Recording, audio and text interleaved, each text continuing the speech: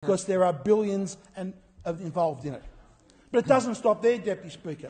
Not only is there that a peer-reviewed study, there is another study which summarises all the ivermectin studies. I'd just like to go through what the numbers actually are here, Deputy Speaker.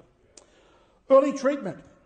There are 23 studies, sorry, 25 early treatment studies, and 23, 92% of them, report positive effects.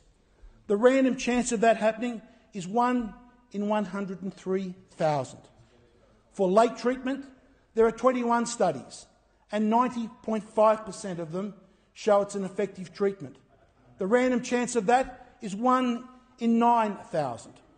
For prophylaxis, there are 14 studies, and all 14, 100% of them showed as an effective treatment.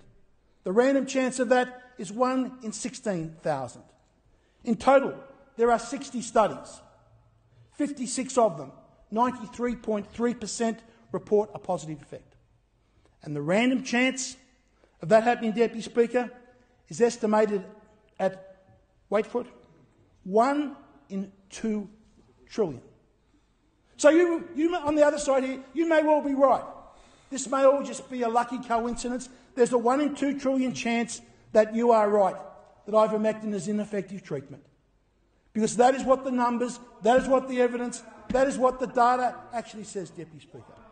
And I would like to, conclu- I would like to conclude, conclude, Deputy Speaker, if you, if you want to read one particular study on the effectiveness of ivermectin, one particular peer-reviewed study on ivermectin, I'd suggest to you in the Journal of Biomedical Research and Clinical Investigations, Deputy Speaker, study published last year. Now, what they did in this study, Deputy Speaker, this was in across four hospitals in Argentina.